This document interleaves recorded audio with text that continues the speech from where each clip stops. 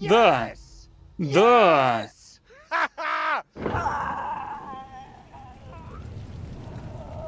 О, боже. Да. Хаммонд. Может, три раунда. Уверен, создатели Sony PlayStation сейчас обделались от страха. Я бы не удивился. Знаю, это игра будущего. Бездарно убили время. Ладно, подожди. Нет, мы разбили пяти крузер, приусы, кучу дживизов. Это правда. Но, Джеймс, Джеймс...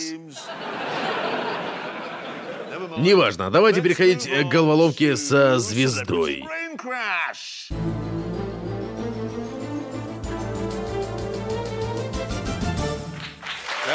Да, итак. Итак, на этой неделе... а, Сегодня у нас не просто одна звезда, у нас их несколько. Это одна из самых знаменитых групп, рожденных в Голландии. И сейчас они здесь, в шестом по величине порту мира, где исполняет свой самый главный хит, вернее, свой единственный хит. Дамы и господа, Golden Earring. А вот и они. Знаете что? Наверное, нам надо сделать соответствующее освещение. Можно придержать свет? Вот так, э, более, более рок-н-ролльная атмосфера. А как называется их хит? Но это Голландия, родина камер контроля скорости. Это очевидно. Любовь на радаре.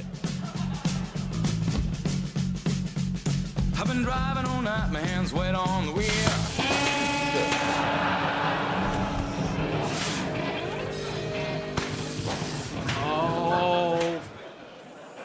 Так, дамы и господа, один из кабелей упал в воду, и Голден Ирингс убиты электрическим током.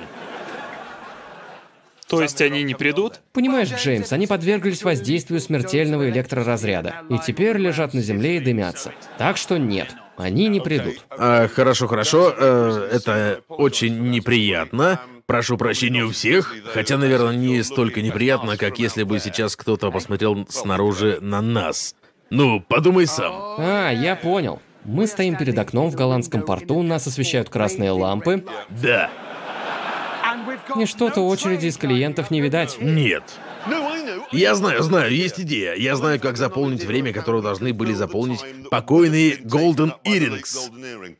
Итак, можно снова включить белый свет? Пожалуйста. Хорошо. Дело в том, что в Голландии есть магазины с различными аксессуарами для автомобилей. О, да. Они открыты всю ночь, там толпы народа. Мы побывали там вчера и купили вещи, которые могут пригодиться в дороге. Сейчас мы покажем вам пару наших покупок. Например, это. Изумительное защитное приспособление. Очень необходимая вещь, поскольку во время аварий люди часто прикусывают язык, а то и совсем откусывают. Но с этим защитным приспособлением он не сможет прикусить свой язык.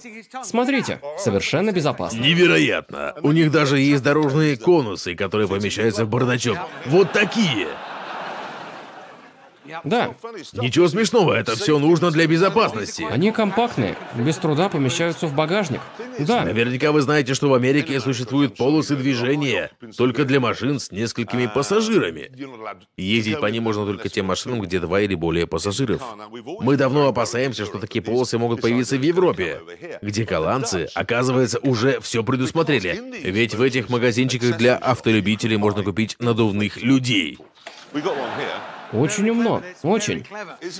Проблема в том, что чтобы надуть, придется попотеть. Очень нелегкая работа. Это не важно, а сейчас я объясню почему. Если вы подъезжаете к одной из этих полос, притормаживаете у обочины, выходите из машины и с помощью двигателя надуваете вашего надувного пассажира. Сейчас я вам это продемонстрирую, и вы увидите, насколько это просто. Мы готовы? Сейчас подкачаю немного и поехали.